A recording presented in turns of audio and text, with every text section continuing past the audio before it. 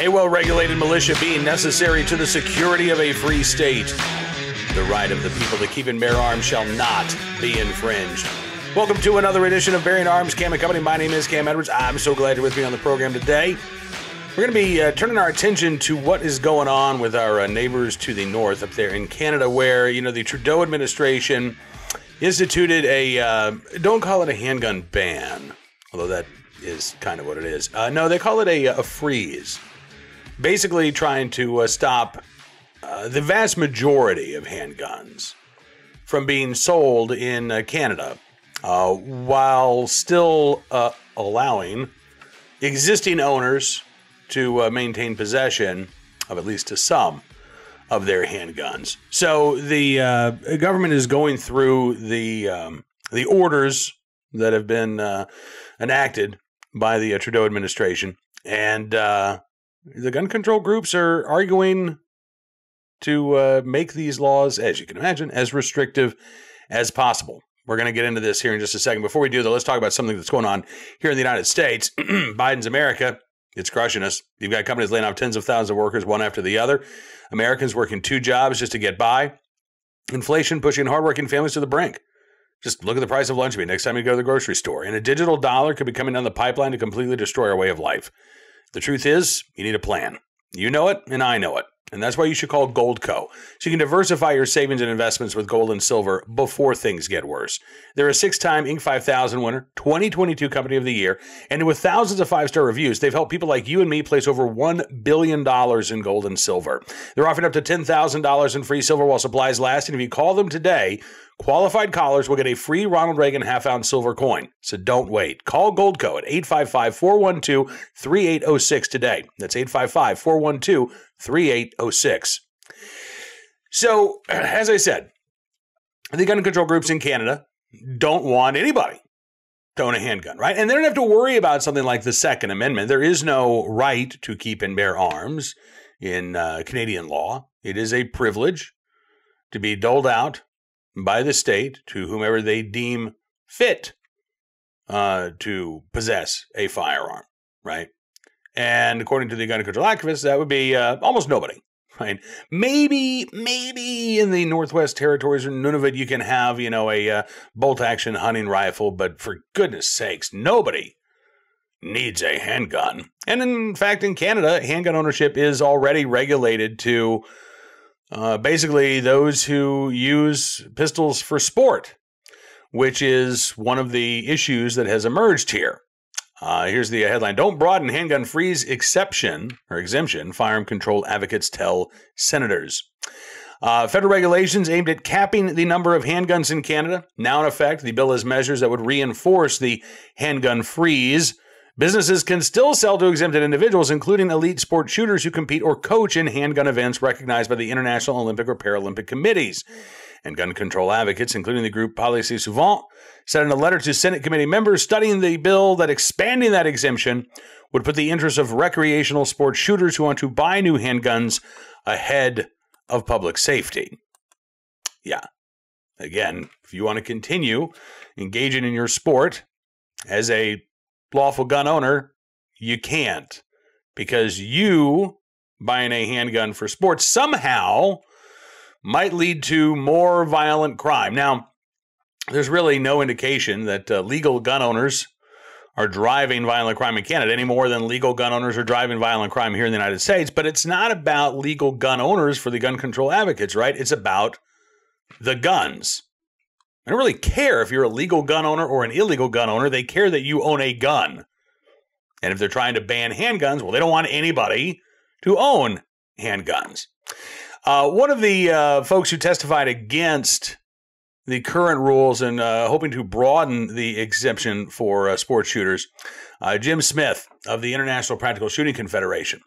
He asked senators to widen that exemption to include IPSC competitors uh, Smith said while the bill does not outright ban handgun ownership, the result for IPSC Canada is that as a sport, quote, we will see a slow demise as our athletes age when no new athletes are introduced and existing competitors' equipment wears out with them, unable to source replacements.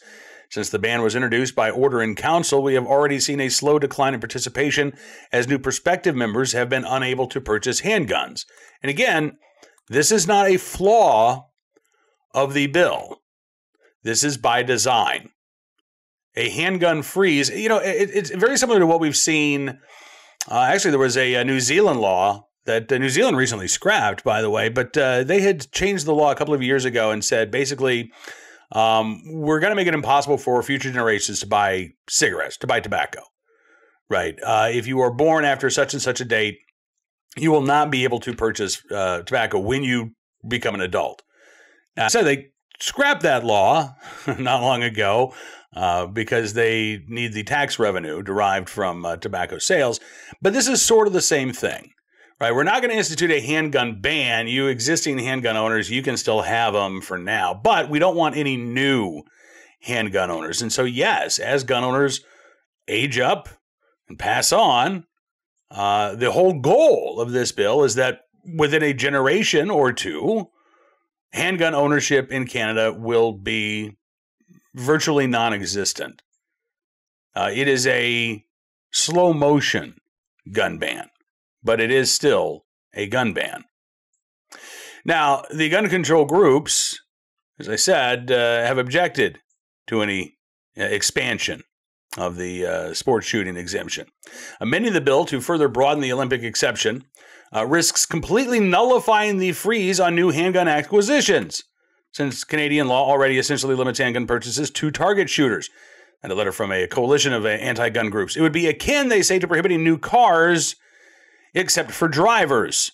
Expanding the exemption would prioritize the interests of recreational sport shooters who want to buy new handguns over the lives of highly predictable future victims of gun violence. Well, again, that's only true if you can point to a wave of violent crime committed by sport shooters in Canada, which you can't.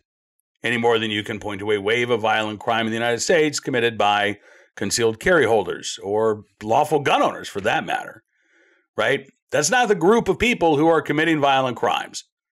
Uh, just as in the United States, in Canada, you have a very small group of individuals who are well known to police who are committing a disproportionate amount of violence.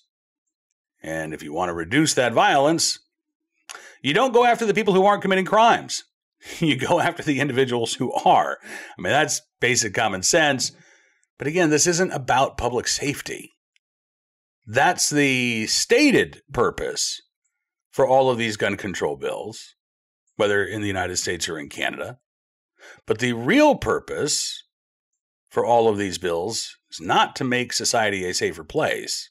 It is to disarm these citizens. Now, they may believe that uh, that will result in society becoming a safer place. I would point to well, I don't know. Washington, D.C. during its handgun ban, Chicago during its handgun ban. Um, how about the nation of Mexico, where there is one gun store and a homicide rate that is about five times that of the U.S.? Again, eh, it doesn't, in the real world, this argument just doesn't amount to much because we see that these gun control laws impact folks who want to remain on the right side of the law, right? They don't want to commit a misdemeanor. They might be willing to do so as an act of civil disobedience, but they don't want to. They certainly don't want to commit a felony uh, for, um, in Canada, again, possessing a firearm in the United States for exercising a constitutionally protected right. So those folks are going to generally try to comply with whatever gun law you come up with. Now, the more restrictive the gun law is, I say, the less likely it is you're going to have that cooperation. But it's not about public safety. I mean, just look at California with all of the gun laws that they have on the books. Right? You got the red flag law, you got the uh, assault weapons ban, you got the magazine ban, you got the 10 day waiting period, uh, you've got universal background checks, you've got the handgun roster, right? So uh, unsafe handguns are not sold. You've got ammunition background checks, all of these gun control laws in place. And yet, on a daily basis, you can still see stories about teenagers being caught with guns, mobs of armed robbers targeting victims in places like Oakland or San Francisco. Again, it's not legal gun owners who are driving this crime, whether in the United States or uh, in our neighbor to the north uh, up there in Canada. But I suspect that um, that exemption is not going to be expanded because again, uh, the, the gun control groups are right about one thing: it does undercut the underlying intent of the legislation, which is to freeze the number of handguns that are available in Canada, and say, well, yes, uh, new sports shooters, uh, we don't want IPSC to die out, right? So uh, yes, you can uh, buy a handgun, you can compete in IPSC. That completely goes against what this bill was supposed to do. The gun control groups are right about that. Uh, and unless the Trudeau administration has a change of heart, and I suspect if that's the case, it would be because of politics, not because of any actual uh, real change within, right? Um, just seems to me like they're likely to say, no, we're going to keep the uh, exemption as it is. If you are again, uh, training or participating in a, a, sport recognized by the International Olympic Committee. Uh, sure, maybe you can have your, you know, high dollar competition pistol, but other than that, uh, no, no guns, at least no handguns, and no quote unquote assault weapons, because that's a whole different ball of wax here in Canada, but uh, no guns for you. Uh, we are going to, by the way, continue paying attention not only to what's going on up in Canada, but uh, the rest of the week we're going to be turning our attention to uh, what's going on in the northern United States. David Trahan from the uh, Sportsmen's Alliance of Maine is going to be with us on Wednesday's Cam and Company. And they are hearing in uh, Boston today about 56 gun related bills. Not all of them are bad, but a lot of them are bad. Uh, and there's another hearing taking place tomorrow. So we're going to be talking with the uh, folks from uh, the Gun Owners Action League in Massachusetts on Thursday. I spoke with Mike Harris uh, Monday afternoon and said, "Hey, do you want to come on the show?" And he's let me know. Okay, listen, we got this going on, we got that going on. Why don't we hold off until later in the week? So I was going to have him on on Wednesday, just talking about the uh, hearing that's being held today, but uh, we decided now let's push it back another day because there is going to be more stuff to talk about. Uh, and unfortunately, that you know, it is the time of year where we're starting to see uh, legislation introduced around the country, bills both good and bad, are starting to pop up. We talked with Philip Van Cleave of the Virginia Citizens Defense League yesterday about the uh, ban on so called assault weapons that's been introduced in both the House and the Senate in Virginia. Um, so, over the next couple of weeks, we probably will be talking to a lot of state level groups just to give you a sort of a lay of the land for 2024. What are some of the big gun control bills that are popping up? Uh, what are some of the good pro Second Amendment uh, pieces of legislation that we might see enacted into law, including um, constitutional carry. I think we've got a very good shot at constitutional carry in Louisiana next year. That we've got a decent shot, at least on, on you know on paper, we've got a great shot at constitutional carry in South Carolina. You got a Republican trifecta in the legislature, supermajorities in the state legislature.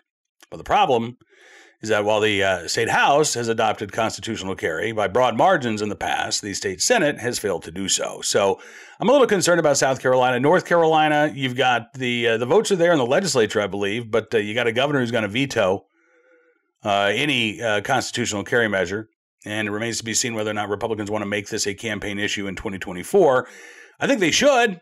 I mean, if Democrats are running on a gun ban, let's run on the right to carry on the right, but uh, it remains to be seen whether or not Republicans in North Carolina will adopt that position. But those are just a couple of the uh, states we'll be taking a closer look at over the coming weeks. Right now, let's turn our attention to today's armed citizen story, our good deed of the day, and our recidivist report. We'll start there. You know, I just mentioned we're going to be talking with David Trahan from the uh, Sportsmen's Alliance of Maine tomorrow. There's a lot of talk in Maine right now, obviously, after the uh, shootings in Lewiston about uh, expanding these states' gun control laws, right? Uh, replacing the yellow flag law with a red flag law. That's a huge priority for gun control advocates. They hate the fact that there is a mental health component uh, to Maine's yellow flag law. They hate the fact that law enforcement has to initiate these proceedings. It can't just be, you know, neighbor, acquaintance, somebody you ran into on the street.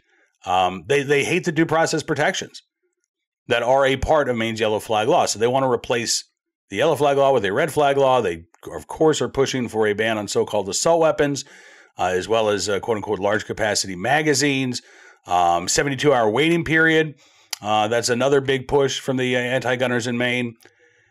And again, all of this based on the uh, mass murders that were committed in Lewiston, right? By somebody who, by the way, would not have been impacted by the 72 hour hold.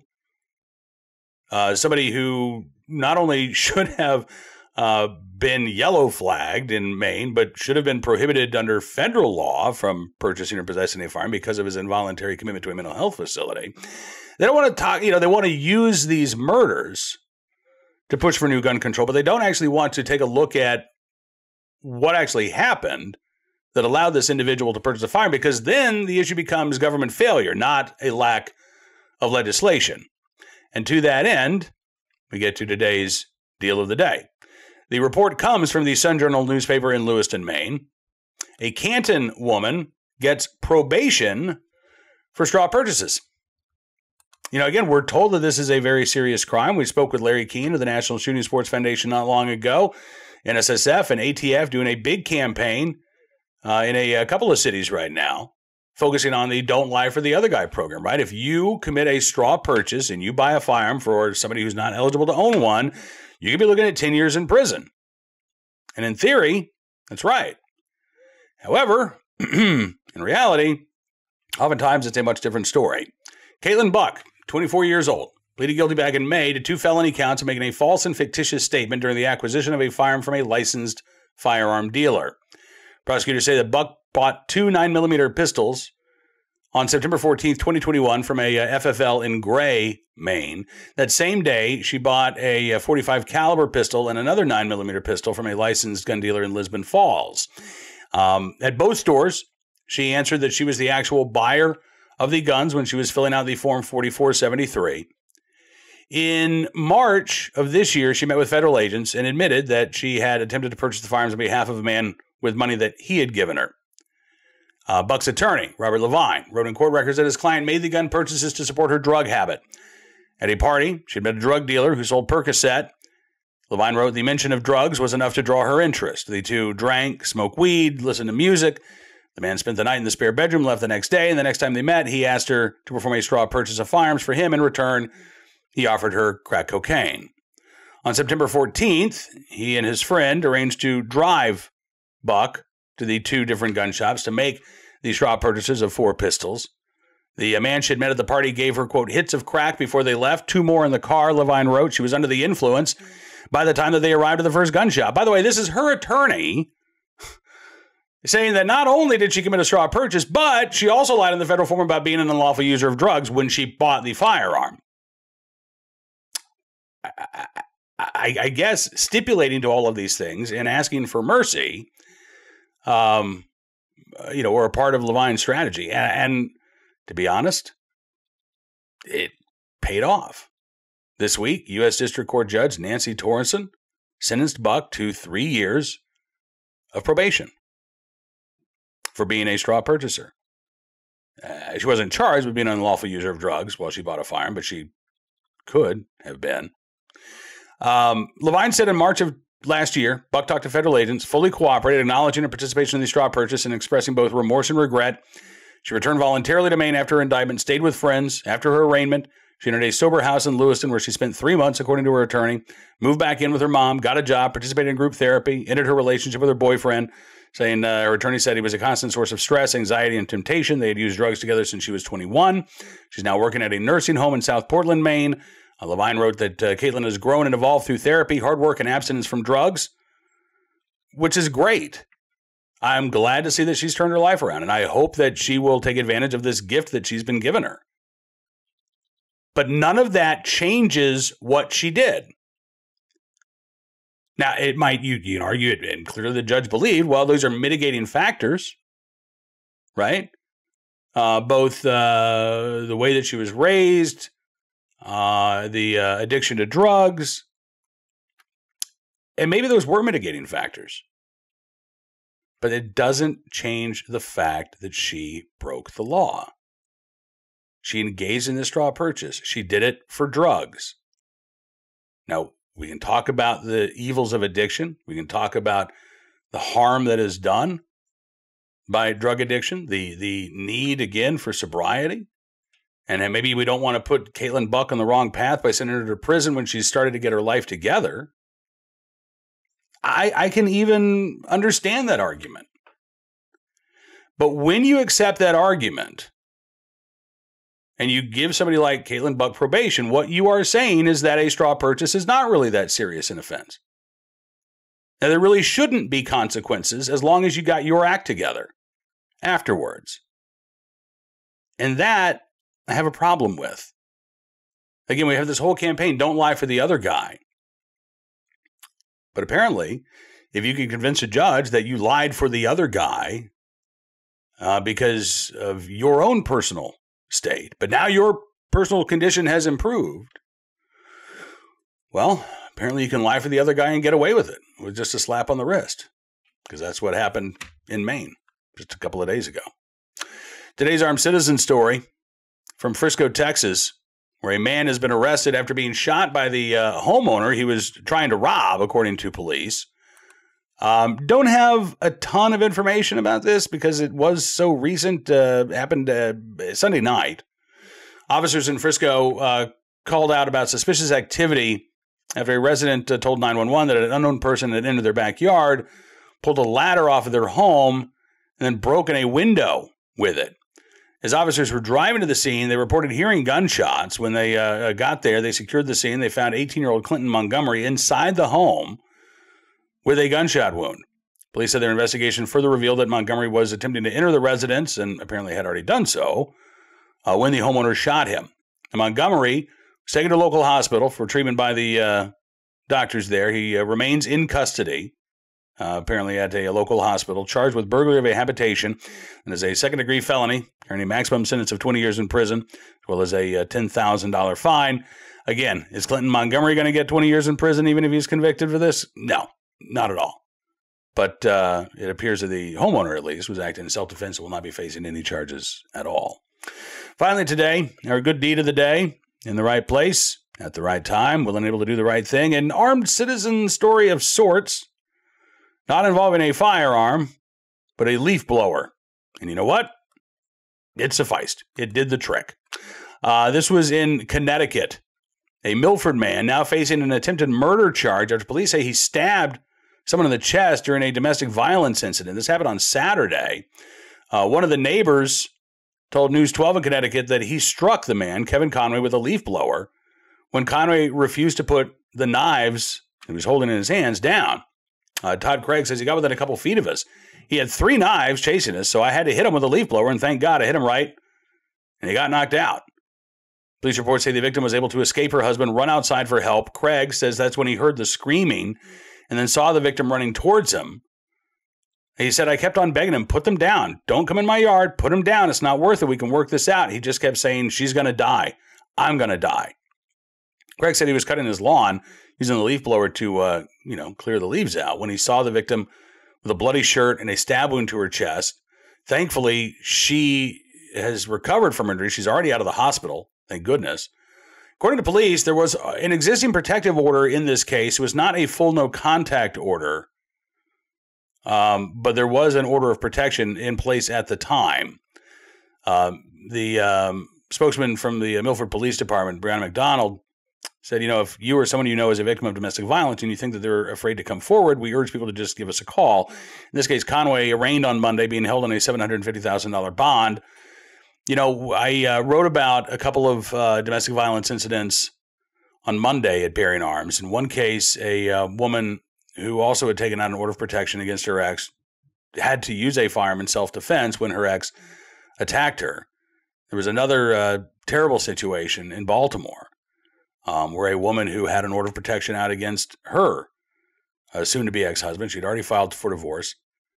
Uh, he, uh, convicted felon, not allowed to legally possess a firearm, had told uh, police and the courts that he didn't possess any firearms, even though he'd been ordered to turn any of them that uh, he had in his possession over to uh, law enforcement. He showed up at her house with a gun. he was shot and killed by police, but not before she was shot and killed as well. So I second what um, Brandon McDonald said about being the victim of a domestic violence. If, if you are afraid to come forward, just reach out to somebody, to your local police, to the National Domestic Violence Hotline, but you don't have to be silent. And, uh, you know, I, I said this in uh, my story yesterday, but I'm not discouraging anybody from obtaining an order of protection. Uh, those those things are there for legal purposes. They uh, will allow authorities to hopefully uh, go after somebody if they violate that order of protection. But please, please, please don't treat an order of protection like it's a suit of armor. Because for somebody who's willing to violate it, it is nothing more than a piece of paper, and it offers as much protection as a sheet of paper would. Um, if you are truly concerned about your safety, there are other things that you can do. It may, you know, we've talked with Nikki Goeser about this. And she says, you know, you may need to, to move. You may need to extricate yourself from that situation, try to hide, but you also should be, if you are in fear of your life, you should be prepared to protect it. That means obtaining a firearm, getting the training that you need so that you feel comfortable and confident using that firearm in self defense if need be. Because we don't want to see tragic stories like this. And there is help available if you need to leave a bad situation but you also have the right to protect yourself from somebody who wants to do you harm. Now, that is going to do it for this edition of Bearing Arms Cam and Company. I want to thank you for being a part of the program as always. I'm looking forward to being back with you tomorrow again, talking with David Trahan from the uh, Sportsmen's Alliance of Maine about the push for gun control post Lewiston. Uh, it should be a uh, fascinating conversation and uh, David is a very bright guy, so I'm looking forward to uh, kicking off that discussion tomorrow. In the meantime, don't forget to check out BearingArms.com throughout the day. We're keeping you up to date on all of the latest Second Amendment news and information from all across the country. And if you like what you see, I'd encourage you to become a VIP or VIP Gold member. All you have to do, is go to BearingArms.com slash subscribe. Use the promo code GUNRIGHTS. You can get a significant savings on your VIP membership. As I was saying, thanks for showing your support. We're going to give you exclusive content